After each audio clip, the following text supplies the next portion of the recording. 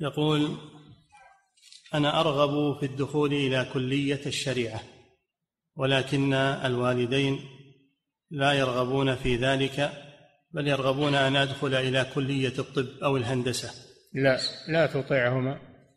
ادخل في كلية الشريعة ولا تطعهما. أقنعهما إذا اقتنعا وإلا لا تطعهما. هذا هو مصلحتي وهو الذي أريده وهو الذي فيه الخير وهم ما يدرون يبون طمع الدنيا فقط. مع أن الشريعة ولله الحمد فيها الخير خيري الدنيا والآخرة. ما شفنا طلاب الشريعة الآن متعطلين من الأعمال بل هم القادة الآن هم القادة. نعم.